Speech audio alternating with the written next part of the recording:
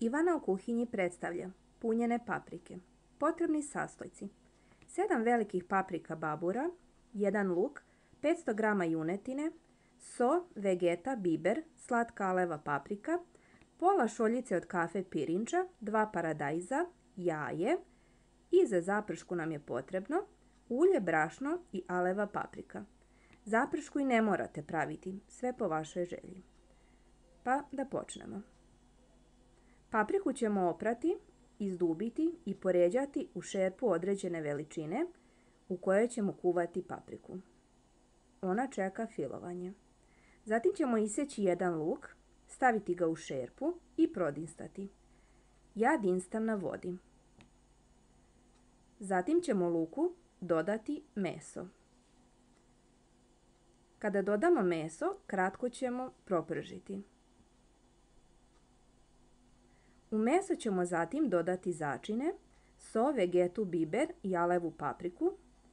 Začine dodajete po svom ukusu. Kada se prodinsta, dodajemo oprani pirinač. Pirinač promešamo sa smesom i još malo kratko propržimo.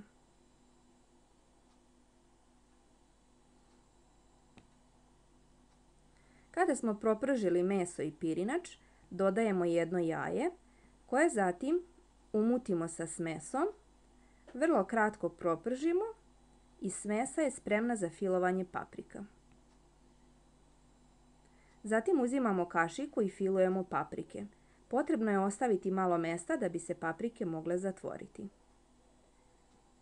Paradajz operemo i sečemo na deblje kolutiće i zatim zatvaramo punjenu papriku.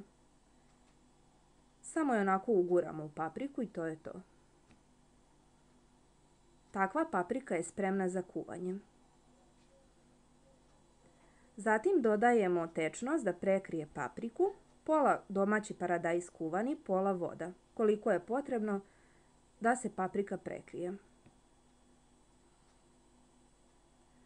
Zatim šerpu stavljamo na vatru i kuvamo. Kada je skuvano možemo da poslužimo. приятного.